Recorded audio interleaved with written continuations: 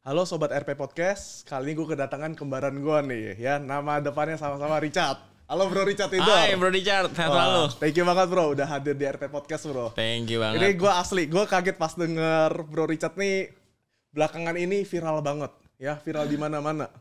Bahkan dari usahanya, gue liat, gue tuh bener-bener kalau gue liat ya, maksudnya kan gue kenal lu udah lama ya bro ya sebenarnya ya. Udah cukup dari lama tahun ya. berapa itu? Ya beberapa tahun lalu lah ya, lama lah ya. Dan lu posisinya tuh waktu itu gue inget banget, boleh gue bocorin dikit gak? Boleh lah, boleh. Boleh ya? Dulu gue inget tuh waktu itu lu masih bantu Melinda. Melinda. Ya lu bantu Melinda jadi timnya lah ya. Ya ya. Dan gue bisa lihat banget Bro Richard ini memang bener-bener mulai dari nol. Nah tapi gue penasaran nih bro, kan gue mungkin belum sempat nanya lu lebih dalam ya. Jadi kali ini gue mau bongkar-bongkar lu nggak apa-apa. Boleh dong, boleh. Ya? Boleh, boleh. Bongkar-bongkar lu, tanjang-tanjangin lu nggak apa-apa ya. Boleh, boleh, boleh. Oke, nah gue penasaran. Ini kan lu kan cepet banget nih perkembangannya ya. mm-mm. Tiba-tiba lu bikin sambal bakar, udah berapa cabang bro? Sekarang 23 yang sudah running, 23 tapi yang yang udah lagi dibangun ada 9. Jadi 32 lah ya. 32 cabang dalam waktu berapa tahun? tuh? Eh, Juni ini 2 tahun kebetulan. Hah? Baru 2 tahun udah Iya. 32 cabang? Ya, Juni ini 2 tahun. 2 tahun lah tepatnya lah. 2 tahun. Ya gue inget banget waktu itu kan lu mulai dari summer mini bar, sambal bakar, sekarang ada seafood, Seafood bakaran. ya? bakaran, ada seafood bakaran juga. Jadi FMB-nya, tapi nggak sebanyak brandnya Bro Richard lah. Wah. Kalau brandnya Bro Richard banyak banget kan, multi Iya. brand lah banyak banget kan. Kalau gue cuman, kalau FMB ya cuman dua aja lah. Jadi FMB ada seafood bakaran yang terbaru, Iya. ada sambal bakar. Tapi dua-duanya langsung profit guys. nah, gue mau nanya sama lu nih bro. Maksudnya Gimana kalau gue boleh tahu nih, kan eh, latar belakang lu tuh emang F&B atau gimana nih bro? Sebenarnya kalau latar belakang sih memang sekolah kuliner, jadi sekolah chef lah, masak lah, SMK-nya Tata Boga. Oh lu bisa masak? Eh, nggak jago masak tapi bisa masak. Oh bisa masak. Tapi nggak terlalu suka masakan gue sih. Gue lebih suka masakan orang sih. Nggak tahu ya kenapa ya. Biasanya kalau orang suka masak tuh nggak suka makanannya gitu. Jadi lebih suka makanan makanan di luar lah. Oh makanan dulu. Jadi gue lebih suka orang buat makanan, gue yang trial tuh. Oh ini Hmm. kurang ini, kurang ini, kurang ini. Makanya gue yang adjustment lah. Ini Oke. layak dijual. Oh ini kemahalan. Oh ini kurang ini. Oh ini terlalu oiling atau apa pun itulah. Jadi gue lebih prefer ke sana gitu. Hmm. Terus dari situ lu emang dari awal udah kepikiran nih masa depan gue ini gue harus punya bisnis yang berhubungan dengan F&B gitu. Nggak juga sih. ya. Nggak juga? Nggak juga. Jadi tapi karena gini, paling gampang untuk sukses adalah kita buka suatu bisnis yang ekspertisnya kita kan. Ya. Atau kita ajak orang yang sudah ekspertis. Oke. Misalkan contoh, gue ekspertisnya di kuliner ya, gue buka restoran. Paling gampang tuh. Karena Ya. kalau gue bukanya misalkan fashion atau produk FMCG kayak Bro Richard atau misalkan produk-produk skincare yang notabene gue mesti belajar lagi nih. Ya. Ya mungkin gue ada waktu belajarnya lah, time periodnya untuk belajar kan. Tapi kalau gue uh, ekspertisnya di FMB, waktu belajarnya lebih singkat lah. Waktu Gitu. belajar lebih singkat. Berarti waktu itu pertama kali lu mulai bisnis F&B itu di usia berapa bro? Waduh, yang literally usaha sendiri ya, Iya. tanpa bantuan orang tua, tanpa bantuan temen atau apa pun itu ya. Iya. Itu lulus SMA ya, gue buka EKB es krim. Oh lu lu jualan sempet jualan es krim? Es krim. Kalau lu tahu es krim yang apa namanya tuh yang bentuknya tanaman, Iya. yang ada cacing-cacing tuh, Hmm. ya kan sama yang bentuknya ikan nyangap ada kayak pup es krim gitu. Oke. Nah itu gue yang peloporin dulu. Dulu tuh Thai Pie Oh. Fred, Pungopang, EKB Ice Cream tuh pemainnya 2000 2015 ya. 2015. Tapi tutup semua. Oh itu bisnis pertama lu? Bisnis pertama Berjalan gua. berapa lama ya? Tapi sempet Itu setahun lah. satu tahun. Tapi untuk dapetin es krim itu, itu mesti ngantri 2 sampai 3 jam, Pak. 2 sampai 3 jam. Iya, jadi saking ramenya. Thai Pie Fred itu dulu tuh uh, brand dari Singapura. Hmm. Yang promosiin JKT48 kalau nggak salah. Yang rame banget tuh di Gandara City tuh, ya kan. Kedua adalah Pengopang di Pik 1 dulu. Hmm. Oke. Ya kan? Rame banget. Ah, Rame banget. Yang kedua dan ketiga itu sama-sama eh, si EKB Ice Cream. Jadi gua Hmm. import mesinnya dari China, gue bikin tuh adonannya dan gue jual dan laku. Laku. 2015 lah waktu itu. Tapi walaupun satu tahun udah balmot. Balik modalnya cepet pak. Balik modal cepat. Soalnya ngantrinya aja sampai 2-3 jam bayangin. Iya sih. Bukanya dari jam nggak 10 kebayang sih pagi sampai jam 3 12 sih. malam. Cuma buat ngantri es krim. Harganya 35 ribu tahun 2015. Wah, Mahal itu pak. cukup tinggi ya. Mahal. Jual ya. Orang-orang jual 20 ribu something, gue 35 ribu. Kalau boleh tahu tutup kenapa? Karena bisnis momentum kah atau gimana tuh? Nah, problemnya gini, karena gue nggak terlalu improve bisnisnya, kan gue nggak belajar juga kan. Iya. Pertama, secara struktural timnya gue juga nggak modifikasi, jadi gue nggak improve. Kedua adalah gua nggak pelajarin nih kenapa orang beli es krimnya, apakah karena viral atau karena apa. Oke. Mungkin karena kebutuhan orang datang pertama kali karena viral oke lah. Tapi yang kedua yang ketiga kan nggak bisa, mesti fit produk eh, produknya harus fit ke market gitu loh. Iya. Nah ini nggak menjawab kebutuhan di market nih produknya dikonsumsi cuma sebulan sekali, Sebulan seminggu sekali. sekali, Oh, dua iya, minggu jarang ya. sekali. Jadi makin lama makin turun hype-nya. Beda kayak sambal bakar, kayak seafood bakaran. Iya, Kalau seafood harian. bakar yang kayak sambal bakar itu produk yang dari konsumsi. Yang dikonsumsi hampir setiap hari lu makan sehari dua kali pun juga orang nggak worry gitu loh. Betul. Terus lu menunya juga baik banget ya gue perhatiin ya. Banyak dan produknya udah fit ke market. Dari harganya, dari tempatnya, dari apa pun lah hospitality dan sebagainya. Jadi beda banget. Nah, yang gue penasaran adalah ketika lu bikin sambal bakar. Gue ingat Oke. banget tuh cabang pertama yang pas gue datang ke sana ya bro ya. Itu eh lu udah kebayang belum? Maksudnya pas ke sana itu lu bikin sambal bakar, lu udah yakin nih prospeknya bakal gede banget tuh gimana tuh? Sebenarnya gini, kalau di FM itu kunci berhasil tuh simpel banget bro Richard. Menurut gue ya, menurut gue yang gue pelajarin ya. Tinggal bawa satu konsep dari third city ke pusat kota. Oke. Udah sesimpel itu aja. Oh iya iya. Berarti sambal bakar ini awalnya ada berupa inspirasi dulu ya lu? Ada, itu dari Kalimantan sama di Malang. Namanya eh, apa namanya? eh, sambal gami busum lah. Oke. Sama sambal gami Borneo. Rame banget. Rame banget. Omsetnya tuh store kecil aja kios ya bisa 20 juta per hari. 20 juta per hari. Iya, rame banget. Nah, gue bilang kenapa namanya gami? Kenapa namanya nggak sambal bakar? Hmm. Bawalah konsepnya ke apa namanya ke Ja- eh, Jakarta, Ke Tangerang. Jakarta. Nah, partner sama Iben. Iben punya storyline yang bagus karena st- bisnis tuh harus punya story yang bagus. Dibuatlah story-storynya. Dibuatlah apa restoran eh, re- dari request eh, followernya misalkan dari tempatnya Iya. pengen yang open space, parkiran yang luas, sambalnya dibakar, apa pun itulah. Jadi sangat kuat ceritanya. At the end orang punya responsibility untuk balik untuk datang. Hmm. Ah, gue udah kasih saran nih ke buka restoran lu. Gue eh, si bisa ownernya udah wujudin sarannya. Ya lu harus datang dan proven. Rame banget kan sampai Rame hari ini masih rame. Kan Ya, temennya marah Bro Richard banget sih. Eh, invest di Iya, sambal bakar tim kan. ada yang invest sambal bakar juga. SM Keren banget sih itu. Iya. Sampai sekarang pun dia bilang masih rame. Masih Bahkan rame. pas lebaran kemarin katanya omset tertinggi tuh gue denger. Iya, iya, masih Wah rame. happy banget ya bro kipas-kipas aja dia tiap Waduh. hari. Dari lo nih. Apalagi skemanya kan nggak merugikan kan. Iya. Skema gue kan sharing revenue kan. Yang notabene dia nggak mungkin invest invest invest invest lagi gitu loh. Hmm. Jadi apa pun yang terjadi selama restorannya buka dia tetap dapat positive income gitu Oke. loh. Boleh tahu nggak bro? Maksudnya modal awal lu bikin sambal bakar itu lu taruh semua sendiri atau maksudnya lu bareng-bareng partner atau gimana? Bareng sama Iben lah. Bareng Iben sama kan Iben. uh, bukan sebagai brand ambassador tapi kan dia sebagai co-founder juga. Hmm. Dia sebagai partner lah. Dia kan CMO-nya kalau di strukturalnya. Iya. Nah, Iben invest kita habisin dana berapa waktu itu? Nggak besar lah 1,4 1,6 M lah waktu itu. Tapi itu cabang pertama ya. dua bulan balik modal pak itu. Dua bulan balik Dua bulan modal. balik modal. Wow. Soalnya kan banyak gini ya bro ya. Gue banyak dengar orang-orang yang mulai bisa F&B selalu bilang F&B itu nggak menguntungkan. Untungnya paling kecil. Cuma misal lu bangun bisa F&B itu balik modal bisa berapa tahun Karena kemudian. dengernya dari orang yang rugi pak. Dengar dari orang yang rugi. Iya, kalau dengernya dari orang yang untung kayak gue, gue bilang bisa FM itu menguntungkan gitu. Oke. Ya, jadi advice tuh atau misalkan eh, message tuh pesan itu tergantung siapa eh, messengernya pe- pembawa pesannya. Iya. Kalau pembawa pesannya orang-orang yang gagal dari bisnis FMB, ya pasti dia bilang bisnis FMB itu nggak menguntungkan. Benar. Tapi kalau dia bilang misalkan misal- misalkan contoh ya eh, nggak usah FMB deh skincare. Orang Hmm. bilang skincare tuh red ocean banget. Ya red ocean bagi orang-orang yang gagal di skincare. Iya. Tapi orang-orang yang bilang berhasil di skincare dia bakal bilang, "Oh, enggak kok skincare menguntungkan." Betul betul. Betul dong ya. Jadi Setuju sih. tergantung messengernya siapa. Kalau yang ngomong pesannya. orang ga, orang yang gagal di situ ya pasti dia Iya. bilang ini susah. ini susah. Tapi Hmm. kalau dia bilang kayak misalkan misalkan gue yang ngomong tadi Pak.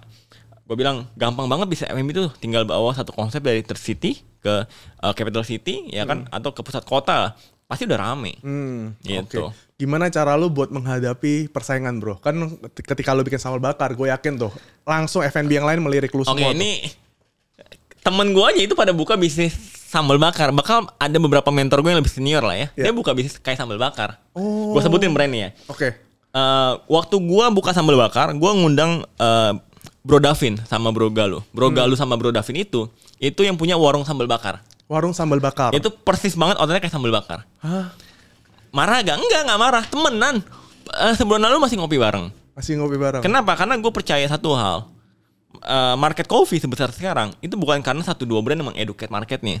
Hmm. Tapi karena ribuan brand yang mengedukasi marketnya. Makanya mark- marketnya bisa jadi culture brand gitu. Iya. sudah growth lah, sudah mature lah marketnya. Hmm. Sama kalau sambal bakar yang mengedukasi sendirian, at the end lama mature-nya. Hmm. Lama eh, jadi culture brandnya gitu.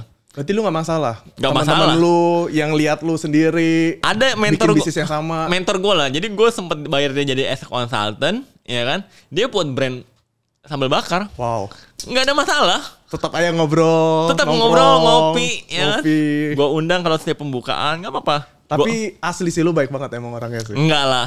Jadi kayak bro Jet aja misalnya bikin produk penggemuk badan. Iya. At the end ada temennya nih yang bikin penggemuk badan. Ya rezeki udah nih ngatur. Hmm. Dan gue ambil point of view bahwa market itu bisa jadi mature, bisa makin besar. Itu karena edukasi mark, eh, brand yang begitu besar. Hmm, Percaya deh, coffee sekarang gede banget market Indonesia. Oke. Bukan karena tuku, bukan karena misalnya Janjiwo sendiri atau kopi kenangan sendiri, atau bukan Starbucks sendiri, tapi banyak brand yang sudah mengedukasi marketnya. Hmm. Dan banyak juga brand yang mati kan. Iya banyak brand mati. Jadi mengedukasi secara gratis lah. Oke. Gitu. Nah, gimana kuncinya nih bro? Kan kalau kita lihat ya, kalau gue perhatiin bisnis F&B yang lain, awal-awal dong rame. Satu tahun pertama lah, anggaplah. 6 sampai 12 bulan rame. Setelah itu dia sepi gitu. Nah. outlet itu beda bro. Karena gini, karena dia cuma menjawab eh apa ya?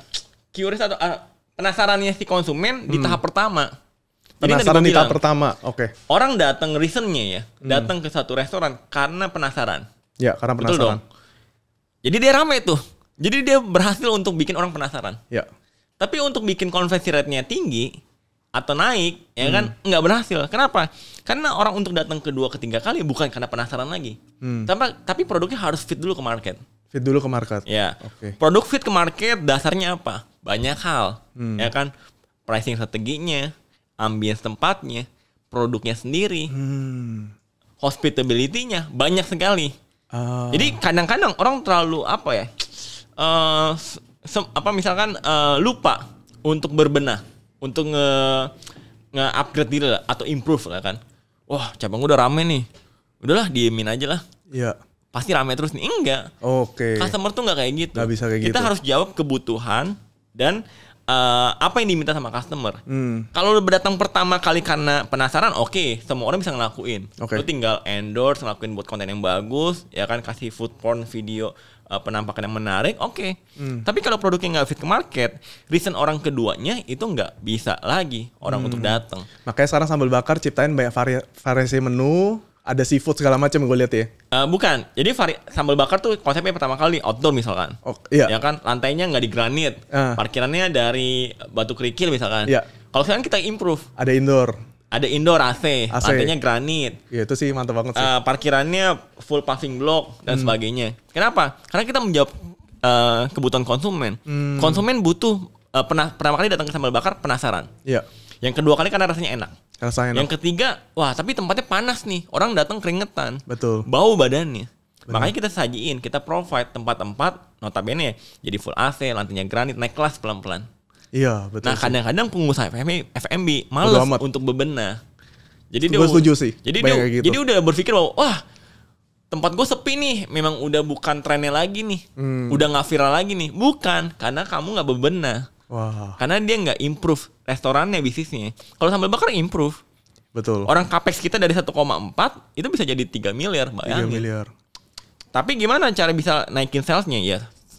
Sesimpel kita improvement pasti honeymoon period di FMB sales pasti bakal naik lagi gitu. Wah. Makanya lu bahkan berani kasih kasih ini ya perhitungan ke investor ya, hitung-hitungannya gimana. Jangan mereka kan balik itu. modal berapa lama. Bahkan kan kita kasih warranty produk kan. Kalau Iya. produknya lama datangnya kita kasih minuman gratis dan sebagainya ke konsumen loh. Jadi kita Hmm. Servisnya memang banget sih. untuk servis yang bagus. Hmm. Nah kadang-kadang tuh, jadi gua tuh berkaca sama eh, gua tahun 2015. Oke. Gue nyaman dengan kondisi otot gue rame. Hmm. Tapi gue nggak improve timnya, struktural timnya. Gue nggak invest di person-personnya. Gue nggak hire orang-orang yang pinter, orang-orang yang eh, punya apa ya, punya Hmm. kemampuan untuk ngembangin bisnis gue lebih besar lagi karena dia punya ilmunya, punya knowledge-nya dan sebagainya. Nah gue nggak invest itu. Mungkin Gua waktu itu lu mikir keuntungan ya saat itu Gue ya. serahkan profitnya gue telan sendiri. Gitu. Iya.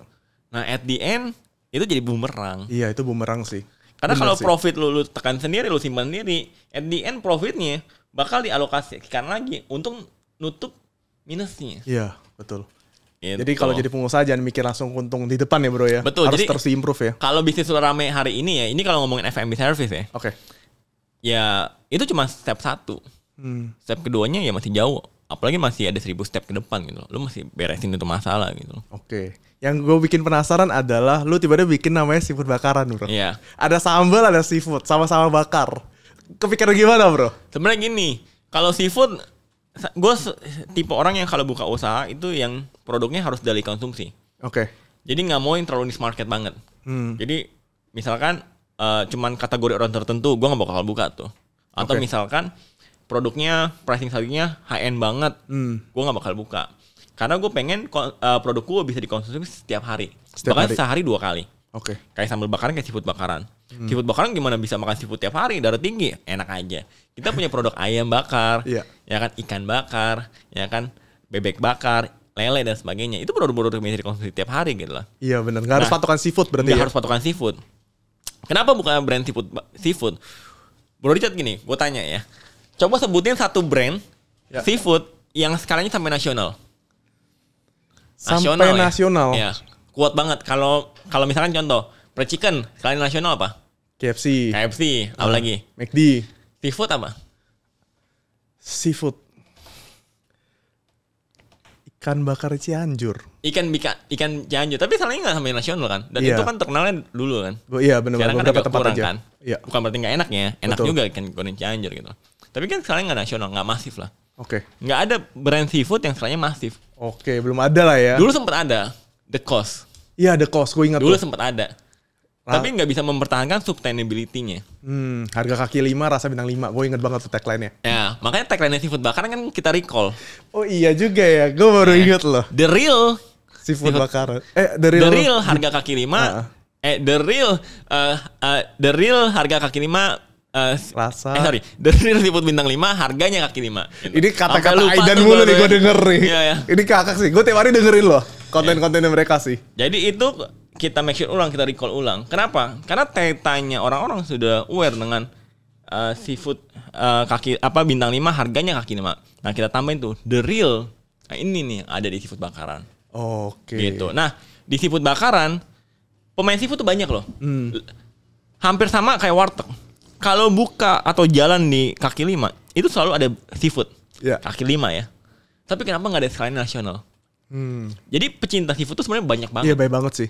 Nah, seafood itu gapnya terlalu besar. Middle middle low, low banget atau high end banget. Nggak ada yang middle nih. Ada yang middle. Dulu the cost hampir berhasil, tapi price- apa positioningnya salah, bukannya di mall. Menurut gua kurang tepat. Oke. Nah, at the end, kenapa mall kurang tepat? Karena trafficnya nggak seramai konsisten, nggak nggak konsisten lah trafficnya lah. Iya. Dan biayanya itu selalu naik. Nggak mungkin dong sewa Iya, di sewa mall. mall. tuh turun tiap tahun nggak mungkin. Naik. Kecuali ada diskon. Iya, apalagi Betul kalau traffic makin banyak.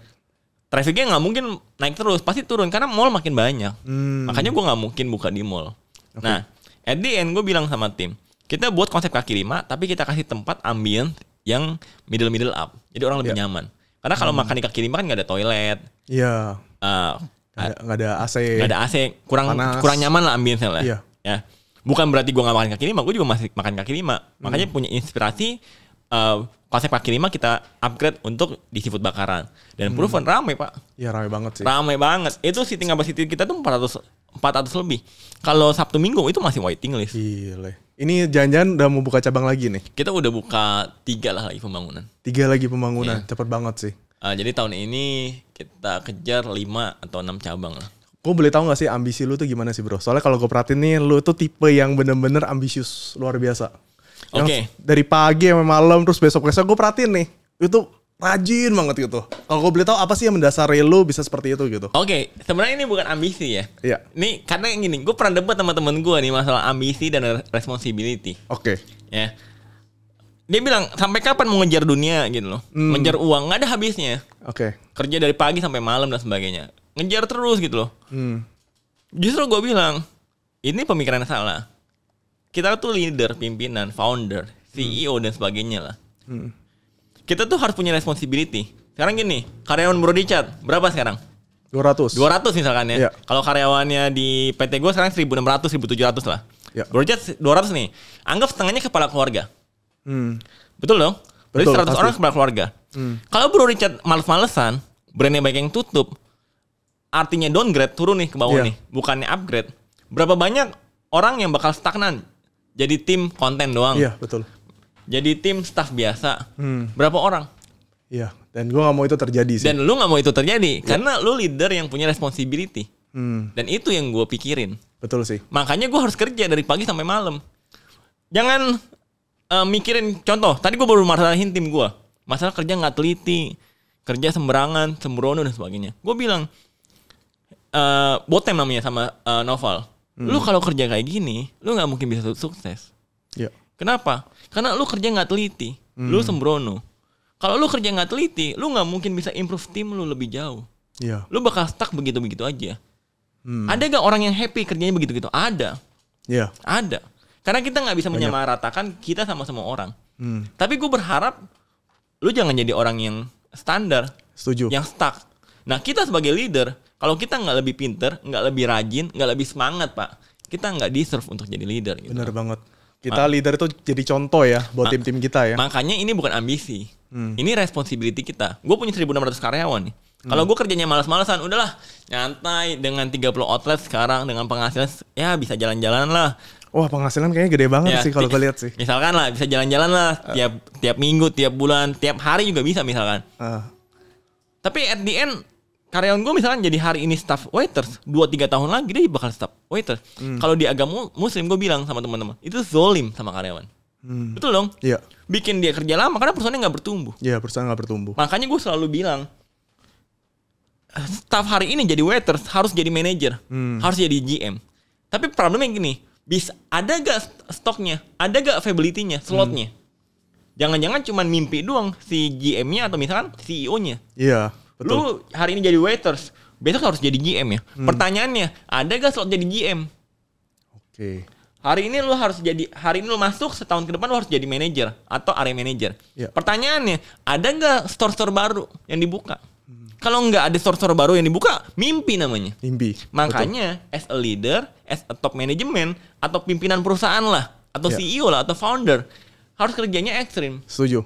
Ini yang gue suka nih dari Bro Nah, Richard gitu. nih. Jadi responsibility lah. Gila Jadi ini, nih. ini Dalam nih kalau ini, ngomong nih. Ini bukan ambisi. Iya. Makanya kalau misalkan lu punya tim, misalkan head editor Hmm. atau misalkan head production, kerjanya nggak becus. Iya. Segera ganti pak. Betul. Karena dia nggak punya responsibility, dia nggak mikirin timnya, dia cuma Iya. mikirin dirinya sendiri. Ah, gue udah kerja nyaman hari ini dengan gaji di atas UMR. Hmm. Dia nggak mikirin tuh di bawahnya. Betul. Timnya hari ini bisa jadi head editor mungkin enam bulan lagi, sebulan lagi. Hmm. Tapi kalau nggak ada slotnya, nggak ada uh, availability-nya, ya kan ketersediaan strukturalnya misalnya jabatannya, ya percuma dong. Kita kasih mimpi dong. Betul. Gimana Bis- biar availability-nya ada, ketersediaannya ada nih. Hmm. Ya harus berkembang perusahaannya. Keren keren. Gitu. Dari Gua 200 setuju jadi 400, 400 Amin, ke amin. 800, 800 ke 1600. Betul dong? Betul. Itu kita harus seperti itu jadi pemimpin sih. Makanya Jangan kalau karyawan misalkan punya bos yang letoy-letoy atau misalnya semangat, ya sorry to say, Hmm. Masa produktif orang kan ada jenjang waktunya gitu loh. Ya lu Iya. harus segera mutusin. Wah kayaknya gue kerja di sini percuma nih, Hmm. ya kan? Kayaknya dua tahun lagi cabangnya nggak bakal nambah nih. Bosnya nyantai-nyantai aja, ya kan? Wah. Ya udahlah cari kerja yang bosnya nggak nyantai, yang punya responsibility. Itu Hmm. Setuju. sih poinnya. Itu penting banget sih. Kita sebagai pemimpin harus kasih contoh yang baik dan kita harus terus berpikir maju ya bro. Yang tim-tim kita yang ibaratnya setengah-setengah atau nggak di bawah perform, ya ngapain juga dipertahanin. Betul, Karena kita sebagai pemimpin kan harus di atas ya. Betul. Kayak orang nanya, kenapa tidur chat jam 2 pagi? Gue kadang-kadang chat WA sama bro di chat jam 4 pagi kita ya. Iya. Masih belum tidur ya. Iya. Ya karena kita punya responsibility. Hmm. Gue pengen hari ini karyawan gue misalnya gaji 4 juta, jadi 20 juta. Tapi Betul, gimana amin. bisa gajinya 20 juta? Dia harus ngisi jabatan struktural. Hmm. Ada nggak slotnya? Harus ada. Caranya gimana? Perusahaannya harus growth-nya makin tinggi. Setuju. Gitu. Keren keren. Nah ini yang gue bikin penasaran nih. Sebelum kita bahas soal impian lu ke depan nih bro. Iya. Ini pasti banyak pertanyaan netizen juga nih yang ngomong kayak gini. Gila nih Richard Theodore ini suka bagi-bagi uang. Terus suka apa? Kasih bensin gratis.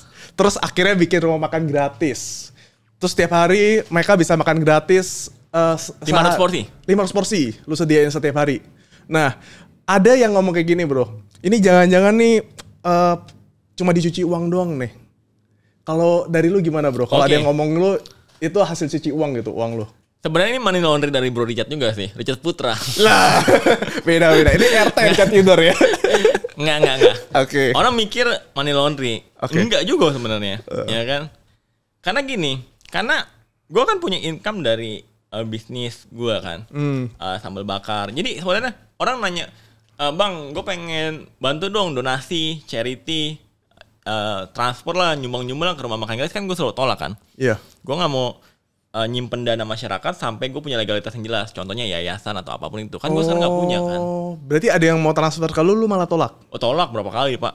Oh gitu. Kenapa? Takut. Takut aja, ngapain terima dana dari orang gitu loh. Hmm. Ada kemarin eh, kantor pajak di kota Tangerang. Iya. Emang CS ready ya, tapi kita langsung kirimin bukti, kita konversi jadi snack snack selama beberapa hari karena dia ngasihnya lumayan besar. Itu maksa ya, ngasih Oh. cash langsung. Nah, eh kalau gua pribadi ya kan, sebenarnya gini, kalau orang pengen bantu ya simple, tinggal Hmm. masukkan aja di sambal bakar, di food bakaran, Iya. ada eh, apa pun itulah ya untuk bisa konversi jadi profit ya kan yang notabene gue salurin untuk ngasih makan apa namanya eh, di rumah makan gratis gitu loh Oke. Kenapa lu kepikiran bikin rumah makan gratis? Oke. Ibarat sebelum ini ya, sebelum Prabowo, Gibran bikin kampanye, lu bisa-bisa ya duluan gitu. oke ini bagus pertanyaannya karena gini sesimpel jawabannya adalah karena expertise gue kan di F&B service Ya. mungkin kalau expertise gue misalkan kayak Bro Richard misalkan main vitamin susu dan sebagainya gue bakal kasih susu gratis tuh karena expertise gue bikin susu eh, Iya. dengan eh, yang baik kan dan, dan benar lah. Nah karena gue pengusaha F&B gue pengen ngasih eh, sesuatu hal yang baik lah. Jadi jangan sampai ngasih sesuatu hal yang gratis tapi nggak proper. Oke. misalkan gue pengen ngasih makanan gratis ya makanan harus enak.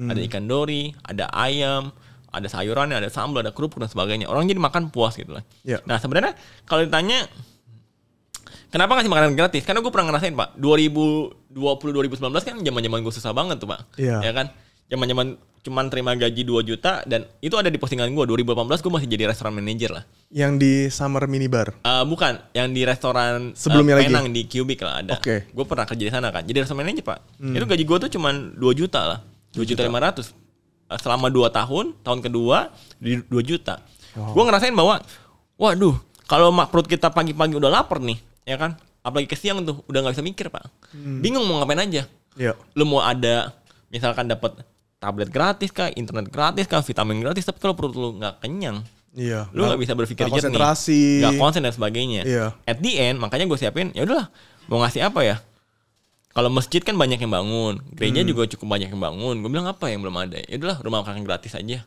Dan gue taruhnya di pusat kota Tangerang ya bukan di tempat terpencil masuk masuk gang atau tercity jadi semua orang bisa akses tuh dengan Hmm. gampang dia lagi kekurangan mau jabatan apa pun mau status apa pun golongan apa pun orang boleh makan di situ Golongan apa pun bisa makan. Status Boleh. apa pun nggak apa-apa. boleh tanpa syarat tinggal antri aja Berarti banyak dong orang-orang yang ibarat nih. eh, ibarat dia udah punya kerjaan, usaha, dia makan-makan aja gitu. Boleh. Jadi ada yang eh, driver, Iya. ada yang misalkan pemulung, ada yang pedagang kaki lima juga di sekeliling itu. Dibandingin dia makan beli lagi ya atau masak lagi dan sebagainya, dia makan di rumah makan gratis pak. Wow, tiap bulan pengeluaran lumayan gede dong bro. Yang nggak segede income bro Richard. Waduh bisa aja nih. Cuma eh lu nggak ada kepikiran gitu. Gue bikin rumah makan gratis ini karena gue pingin nyalon jadi apa gitu. Dua orang pak nawarin gue pak. Jadi apa? Eh, wali kota dan wakil wali kota Tangerang. Waduh, langsung wali kota atau wakil wali kota Tangerang deh ya. Emang ada kepikiran? Tolak Langsung, pak, nggak politik. Nggak ada. nggak ada. Oh. Pure untuk jadi pengusaha. Pure jadi pengusaha. Ke depan nggak ada kepikiran. Nggak ada juga sih. Nggak ada Pure kepikiran sama sekali. Enak kan Oh. pun jadi pengusaha kok. Enakan jadi pengusaha ya. Hmm. Oh, berarti eh, yang penting jadi pengusaha yang yang punya visi misi baiklah ke depan ya. Iya, enak lah kayak Bro Richard lah. Masyarakat ya. Nyaman, enak banyak brand, banyak timnya, ya kan? Wah, gue kayak lu lah bro, tipe ya bro. Harus gaspol terus sama kayak Iya, kita ya. gaspol terus lah. Itu Iya. responsibility kita sebagai Benar. pimpinan. Nah, kalau kita bicara goals lu ke depan nih bro, goals lu ke depan apa bro? Sebenarnya kalau goals gue ya, gue tuh punya visi dan ini salah satu to do list gue. Gue pengen jadi salah satu orang terkaya di Indonesia lah. Kenapa? Oke. Bukan uang yang kita kejar, Hmm. bukan. Tapi kita bisa ngebantu lebih banyak orang.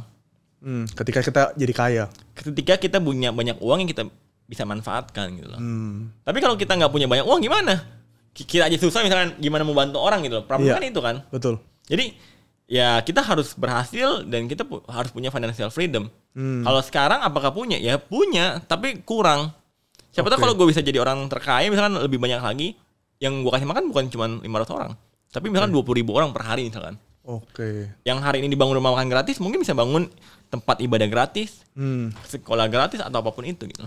Hmm, itu target lu lah ya. Ya targetnya. Jadi, Jadi salah satu orang terkaya di Indonesia. nggak gampang. Hmm. Ya karena nggak gampang harus kerja keras sampai sampai itu tercapai gitu loh. Tapi gue liat per- eh, transformasi lu tuh luar biasa banget bro. Itu kan ibarat lu 2019 gaji dua setengah juta. Ini dalam waktu kurun waktu lima, Lima tahun, tahun ya. lah ya. Lima tahun berubah banget gitu. Apa sih yang ibaratnya prinsip-prinsip yang lu punya gitu, Nah. yang nggak dipunya orang lain kalau menurut lu sendiri? Nah ini pertanyaan bagus juga nih ya. Hmm. Gue yakin di ruangan ini, ini kan lagi podcast nih. Banyak Iya. orang ngeluh, kenapa gaji gue begini terus, tiap bulan kekurangan mulu. Hmm. Ya kan? Kenapa nyari duit susah banget, hidup susah banget. Pasti di ruangan ini ada yang ngeluh. Ya. Ya. Gue kasih tahu ya, orang tuh hari terlahir miskin, nanti mati miskin, atau terlahir susah, mati nanti susah. Kenapa? Karena dia nggak berubah. Karena dia nggak berubah. karena dia nggak ngelakuin sesuatu hal perubahan yang yang bakal mengkonversi jadi pasif income mereka atau jadi income mereka. Contoh, hari ini misalkan contoh di sini banyak editor. Lu kerja misalnya si A jadi editor. Selama 10 tahun jadi editor. Dia nggak ngelakuin hal yang berbeda. Dia nggak mikirin nih gimana bisa eh, dapetin another eh, revenue atau another income lah ya Ya. penghasilan lainnya di luar jadi editor. Misalkan dia buka usaha angkringan kek, buka usaha eh, FMCG kek, atau maklon apa kek dan sebagainya. Ya. Oke. Makanya dia susah terus. Hmm. Karena Jadi- dia nggak berubah. Karena dia nggak berubah. Percaya deh, kalau lu pengen berhasil, lu nggak satu perubahan. Hmm. Coba aja terus. Jadi Oke. gua nggak bilang main in, main job lu, lu keluar, ya kan? Lu hilang tuh penghasilan lu. Ya. Enggak. Tapi lu coba untuk mikirin gimana caranya biar dapetin another income. Ya. Betul. Hal apa yang lu harus lakuin? Lu nyambi kek, lu ngejob kek, lu investasi kek, lu apa pun yang lu pikirin. Hmm. Apa pun. Atau enggak lu berikan yang terbaik buat company lu. Lu tantang misalkan bos lu. Eh gue mau di sini. Tapi Gue mau jadi partner di sini. Ya, lu butuh partner sini, ya udah, gue bilang apa pun itulah. Jadi Iya. apa pun hal baru, lu harus coba. Hmm. Kadang-kadang orang nggak nyoba. Iya. Makanya kalau banyak orang yang komen misalnya di, di DM gue, Instagram gue, TikTok gue, Bang Richard, hidup gue susah banget. Kenapa ya? Ya, Wah pasti banyak nih. Kena, gue tanya ya, bukan merendahkan satu eh, eh, apa pekerjaan tertentu ya. Hmm. Ada gak anak tukang beca, ya kan? Yang bapaknya tukang beca, anaknya jadi tukang beca. Ada dong. Iya ada. Ada gak anak tukang beca, yang bapaknya tukang beca, anaknya jadi perwira polisi? Ada. Ada. Ada. Ya kan? Ada gak anak tukang beca, anaknya jadi pengusaha? Ada. Ada. Tahu gak kenapa anak tukang beca, anaknya jadi tukang beca? Hmm. Karena dia ngelakuin hal yang sama, bertahun-tahun, puluhan tahun yang bapaknya lakuin. Betul. Dia ngelakuin pola yang sama ya. Nggak berubah. Nggak berubah. At the end, outputnya pasti sama. Setuju. Kalau dia misalkan outputnya berbeda, dia jadi pengusaha, dia nggak ngelakuin tuh proses bapaknya jadi tukang beca. Oke, Dia jadi menarik. jadi uh, perwira misalkan, dia nggak ngikutin proses bapaknya tukang beca, tapi dia sekolah, ya kan, dia cita-cita jadi polisi, Hmm. ngambil alternatif jalan yang berbeda gitu. Oke. Makanya dia punya output yang berbeda. Hari ini lu susah, hari ini lu miskin, hari ini lu kesusahan kelilit utang, ya kan? Coba alternatif cari another income untuk lu. Tanpa lu harus ninggalin main job lu ya. Oke. Kalau mereka selalu beralasan gimana bro? Gue nggak punya waktu. Terus ibaratnya, aduh kayak susah deh. Selalu bilang susah, susah, susah duluan. Apa pesan lu buat Ya mereka? lu masuk kategori yang harus dibinasakan sih. Orang, Dirasakan. orang-orang yang cuma bisa ngeluh tuh orang-orang Iya. yang apa notabene. Ya, jadi Oke. kemarin gue uh, sharing sama uh, Bro Daniel ya kan Hmm. gue bilang kalau kita mau ngomongin agama ya Iya. Tuhan tuh nggak pernah ngasih orang untuk gagal menurut gue pribadi Hmm. masa sih orang Itu gua ini, sangat setuju. ya kan lu gagal lu berhasil lu gagal lu berhasil lu kaya lu miskin lu miskin enggak menurut gue menurut gue pribadi ya Gak ada takdir gitu lah. nggak nggak ada Gituan. takdir karena Betul. God hold our hand and and then we create our future gitu loh. Jadi menurut gue nih ya, ini tangan kita nih. Hmm. Ya. Tuhan pegang tangan kita ini dan kita gambar di masa depan kita. Kita mau belok kiri, belok kanan. Tapi Tuhan udah kasih yang terbaik nih buat kita. Ya. Makanya kadang-kadang outputnya berbeda gitu loh. Hmm. Jadi kalau hari ini lu susah, hari ini lu, lu coba lu flashback nih. Pasti lu ngelakuin hal yang sama. Ya. 5 3 tahun belakangan pasti Dan berulang-ulang dan kali. kurang berulang-ulang. Kalau lu pengen berubah, percaya deh di ruangan ini misalkan ya. lakuin hal yang berbeda. Hari ini misalkan lu kerja jadi A misalkan, editor misalkan. Atau Iya. misalkan jadi apa misalkan jadi fotografer misalkan. Fotografer. Atau jadi misalkan SPV lah atau apa. Ya lu coba bikin angkringan kek. Bikin apalah ide apa kek. Iya, betul. Tapi gua nggak berhasil-berhasil nih, Chat. Kurang keras. Coba terus. Betul. Pasti ada jalan. Ibarat lu dari 2,5 juta lo gaji. Ya pasti ada Bisa output yang berbeda lah. Pasti ada output yang berbeda. Apa hal yang menurut lu tuh dibutuhkan oleh mereka yang pingin sukses? Hal-hal apa aja sih yang menurut lu tuh sangat berperan di dalam kehidupan lu selama kurang lebih lima tahun perjalanan lu, bro? Oke, ini nggak ngomongin agama ya. Kalau agama pasti kita harus berdoa dulu. Iya. Orang tua hormatin dan sebagainya lah.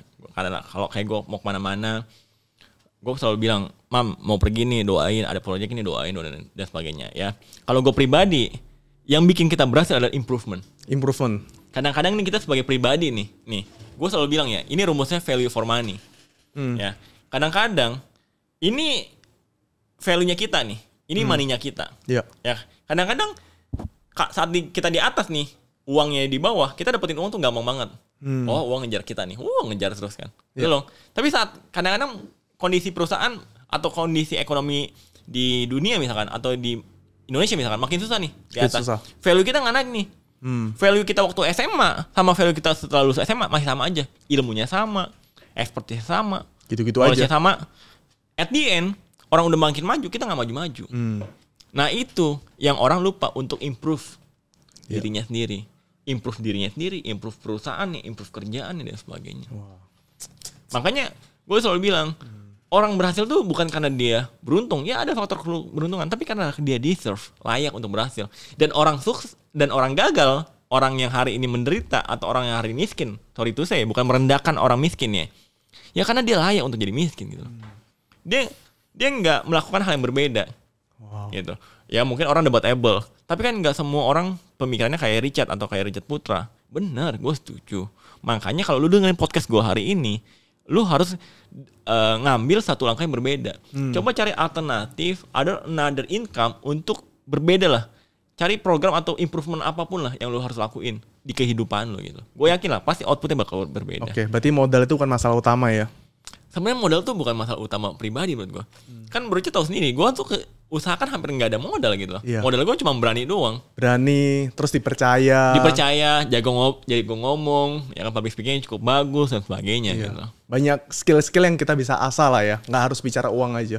Kalau misalkan punya ide bagus datang ke Bro Richard Putra juga pasti didanain tuh. Wah, Betul loh. amin, Ya, amin. nggak perlu modal yang gede. Tapi Iya. ingatlah, bukan masalah poin di situ sebenarnya, bukan masalah di modalnya. Itu cuma sebagai barrier lah. Oh, Hmm. gue gagal karena nggak punya modal. Gue gagal karena orang tua gue eh apa namanya eh, nggak ngajarin gue untuk berhasil. Banyak kok yang anaknya tukang beca jadi tu, jadi peng- jadi pengusaha. Banyak kok yang anaknya tukang beca jadi polisi Hmm. perwira. Kalau privilege modal utama nggak?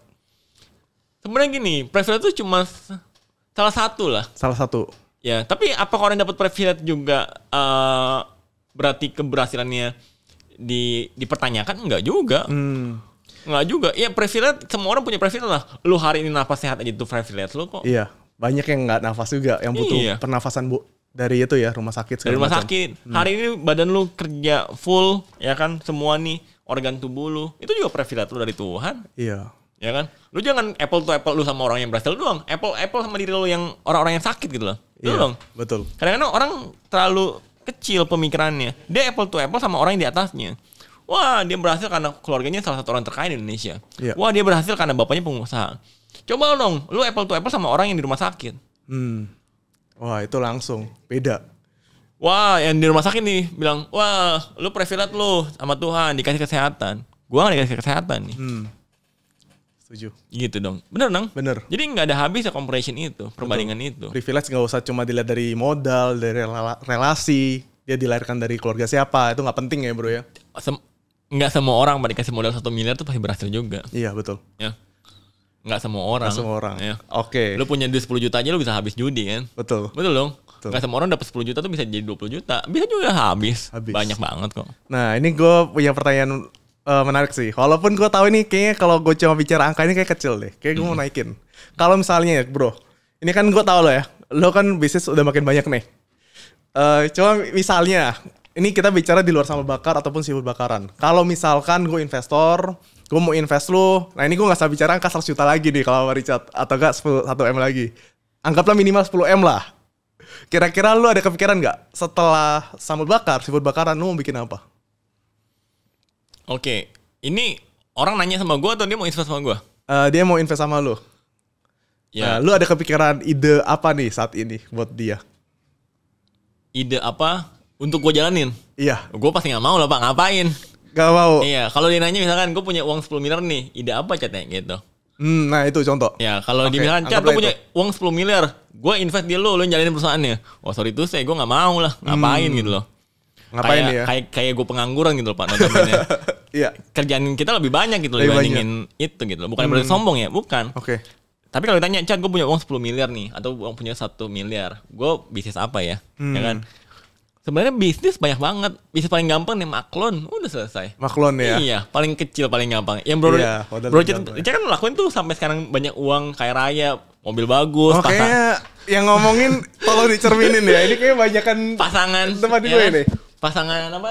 Cantik ya kan, mau nikah katanya dan sebagainya kan, rukonya tiga, karyawan ada 200, itu kan paling gampang, ya kan? Ini- Tinggal ini- buat brand. Ini eh, mohon maaf ya. Kayaknya yang ngomong ke gue ini banyak nih. Belum gue korek-korek aja nih. Pasangan itu gimana bro? Jadi apa namanya? jadi apa namanya? Paling simpel adalah Iya. ya coba Oke. aja buat brand. Brandnya tergantung dia mau buat restoran kah, dia mau buat apa? Yang penting adalah brand sendiri. Hmm. Untuk expertise-nya adalah dia produksi misalkan sama orang. Kayak misalkan gue, gue juga ada beberapa barang yang nggak kita buat sendiri finish good-nya. Kita ambil dari orang untuk memecah resikonya. Ya. Atau misalkan produk misalkan eh kayak produk A misalkan terkenal, dia ngambil maklon di produk B. Kan banyak banget skincare kayak gitu kan. Ya. Ya nggak ada masalah juga gitu. Kalau dia punya pembiayaan 1 miliar sampai 10 miliar ya gede banget. Tapi yang terpenting adalah jangan lupa invest di timnya, Pak. Invest di tim. Karena eh, problemnya adalah problemnya nih ya, problemnya. Kadang-kadang orang punya pendanaan tapi nggak punya tim yang menjalankan. Iya, Mungkin betul. Bro Dijat juga merasakan kan. Oh sangat. Betul loh ya. Sangat. Wah, gue punya resource nih, ya kan? Gue punya pendanaan capitalnya, tapi gue nggak punya orang-orang yang pinternya nih. Hmm. Gitu. Betul. Jadi kita nggak harus bicara ibarat produk aja bro ya. Tapi kalau misalkan punya uang 10 miliar ya, beli sosok yang Bro Dijat aja. Bro, invest di perusahaan yang Bro Dijat minta saham satu persen boleh gak gitu? Eh, kayaknya orang kalau gitu ini invest di sambal bakar sambal bakaran lu deh. Kayaknya satu Langsung dapat satu persen, eh, sepuluh miliar di konversi satu persennya boleh lah sama Bro lah pasti. Dikasih lah itu. Wah bisa aja deh emang deh. Oke, Loh, bro, mungkin ada pesan-pesan nggak yang lu mau bagiin? Kan lu kan terkenal nih sebagai influencer fenomenal nih di Indonesia saat ini. Ada pesan nggak yang lu mau bagiin buat anak-anak muda Indonesia agar mereka nih kan ibarat tadi lu udah bicara kalau mereka harus cari penghasilan tambahan. Nah menurut lu mereka itu harus ngapain lagi setelah itu? Ibarat mereka udah cari penghasilan tambahan. Terus gimana caranya biar mereka itu bisa sukses kayak lu gitu? Oke, pertama harus dengerin RP podcast. Oh iya dong, bener harus. dong. Nonton yang. Richard Tudor ya. Sampai habis, jangan setengah-setengah. sebenarnya gini yang bisa merubah kita untuk dari nggak berhasil jadi berhasil itu bukan orang lain kenapa orang datang ke kelas motivator misalkan pas datang di hari H semangat nih. Hmm. pas pulang dua hari kemudian hilang. Iya, buang duit lagi. buang duit. Iya, yang salah bukan motivatornya. Bener. yang salah semangatnya padam. Jadi saat dia eh, padam ketemu masalah dia nggak semangat lagi. Aduh nggak segampang itu yang dikira gitu. Aduh aduh. Kenapa orang bisa padam? Karena strong reasonnya ya kan nggak ketemu. Alasannya dia harus berhasil. Alasan dia harus banyak uang. Alasan dia harus punya perusahaan. Nggak ada. Gak ada. Jadi saat nge-recall dia punya ketemu masalah ya nggak dapet tuh feelnya Hmm. hari ini lu sukses bapak lu miskin misalkan bapak lu eh, komplain misalkan aduh hidup begini-begini amat ya karena bapak lu atau lu pribadi nggak punya alasan yang kuat kenapa bapak lu harus banyak uang atau misalnya harus berhasil Oke. Alasan yang sangat kuat itu ya. iya jadi kayak misalkan gue pribadi gue kenapa harus berhasil gue dulu ada beberapa momen lah ya momen orang tua gue sakit ya kan? Gue nggak bisa biayain. Orang gue sempat stroke pak bapak gue papa gue stroke stroke parah. Nggak bisa biayain. Bingung. Anak Sama laki gue. anak laki-laki kan bingung kan mau ngapain kan? Ah. padahal ya, pembiayaan di rumah sakit paling 500 juta. Hmm. paling gede satu miliar. Ya. kalau bapak kita eh, hitung-hitung biaya lahiran kita, 9 bulan di kandungan, sekolah, pendidikan makan dan sebagainya lebih dari 1 miliar, Pak. Betul. Berarti ini Bisa kita investasinya nggak berharga, Pak. Hmm. Nggak bakal menghasilkan return buat orang tua lebih sebagai anak. sebagai anak. Nggak berguna. Hmm. Sampai saat itu, gue udah komitmen, gue harus jadi orang berhasil. Oke. Hari ini bukannya sombong ya, bapak gue mau sakit, gue kirim ke Penang misalnya, ke Singapura dan sebagainya. Kenapa? Ya karena kita punya pendanaan yang cukup gitu loh. Kita udah kerja keras pak, kita harus lindungi orang-orang yang kita sayang gitu. Nah kadang-kadang orang yang gagal atau yang hari ini belum berhasil, dia nggak punya strong reason alasan yang kuat. Dia cuma ngeluh doang nih. Hmm. Tapi dia nggak punya strong reason yang kuat, kenapa dia harus berhasil? Itu yang paling penting. Barusan gue briefing sama tem- eh, tim gue. Lu nggak mungkin berhasil. Karena kenapa? Karena lu nggak mau berhasil. Dari lubuk hati lu yang terdalam, teta lu, lu nggak pengen berhasil. Mulut lu sama pikiran alam bawah sadar lu pasti berbeda. Masih berbeda. Gitu. Jadi lu harus punya alasan yang kuat. Kenapa lu harus berhasil? Kenapa lu harus upgrade diri? Kenapa? Karena kalau itu nggak bisa lu jawab dan itu nggak punya, percaya deh, lu nggak mungkin bisa berhasil. Setuju. Saat lu ketemu masalah nih, ya, at the end misalkan lu ketemu masalah, lu ditipu misalkan yang parah lah misalkan, uang tabungan lu habis, lu bakal nyerah. Ah, emang ya bisnis F&B bisnis itu susah ya. Kayaknya gue jadi profesional aja. Aduh, udahlah, gue jadi kerja aja lah. Udah, Biasa-biasa Gua aja buang gitu mimpi ya. gue jauh-jauh. Alir aja Tapi ya saat dia hidupnya. inget, gue ketipu hari ini tabungan gue nol. Kalau gue nggak usaha lagi, anak gue nggak bisa dapat pendidikan yang terbaik. Anak gue nggak bisa makan nih. Istri gue nggak bisa jalan-jalan. Atau istri gue kalau sakit gue nggak bisa cover. Oke. Orang tua gue kalau sakit, wah hari ini ditipu sep- 10 miliar, dia punya tabungan 10 miliar pak, nol. Dia bakal kerja lebih ekstra. Iya. Gimana gue bisa gandain nol jadi 20 miliar? Setuju. Hari ini gue dijatuhkan sekali, gue harus bangkit dua kali. Nah itu kan problemnya. Makanya orang-orang yang gagal hari ini, dia nggak berhasil, dia nggak punya alasan untuk kenapa dia harus berhasil. Strong reasonnya harus ketemu. Oke, strong reason ya. Ini penting banget sih. Banyak orang kan ibaratnya jalan hidup tuh ya udahlah aku jalan hidup ala kadarnya aja. Gue ngikutin aja sampai gue dipanggil pulang gitu ibaratnya lah ya. Ya. Ini penting banget sih. Yang strong it- reason ini penting banget. Itu yang terpenting ya. Kita ngomongin agama ya. Nanti kan kalau ngomongin agama, ya nyari uang sampai kapan dan sebagainya. Kan Iya. gue selalu bilang, uang itu sebagai alat. Hmm, Yang bikin uang negatif dan positif itu penggunanya, penggunaannya. people-nya, manusianya, person-nya gitu loh. Hmm. Jadi jangan salahkan alatnya gitu loh. Iya. Salahkan adalah human-nya, penggunanya gitu loh. Penggunanya. Gila, keren banget bro. Gila, hari ini gue banyak belajar nih dari lo nih.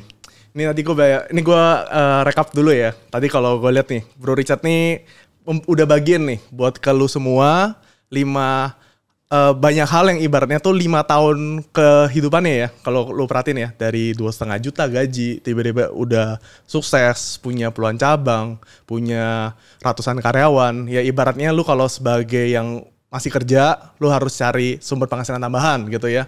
Atau enggak lu mungkin bisa cecer bos lu nih. Gue siap bertanggung jawab di bagian ini, di bagian ini, di bagian itu. Lu bisa kasih yang terbaik. Pasti juga pemimpin lu ngelihat lu, dia juga pasti kasih lu yang terbaik juga. Dan kedua, harus punya namanya alasan yang sangat kuat ya bro ya. Karena kalau kita punya alasan yang sangat kuat dalam hidup, buat apa kita dilahirkan, tujuan hidup kita, tujuan kita eh, di dunia saat ini, di luar kita bicara di di surga lah ibaratnya bro ya, itu harus jelas ya. Apalagi kalau kita lihat ya, kalau kita udah jadi lebih sukses dan jadi lebih kaya, ya udah pasti kita bisa juga udah bisa jadi berkat dan bermanfaat bagi banyak orang. Thank you banget nih Bro Richard nih. Thank you Ya, banget, bro. Luar biasa banget nih. Richard juga Sharing-sharing ya, lo nih. udah diundang. Emang nih. Eh duo Richard nih luar biasa. Oke, thank you Bro Richard. Thank you, thank you. Sukses terus. Thank you, thank you, bro. Thank you Bro.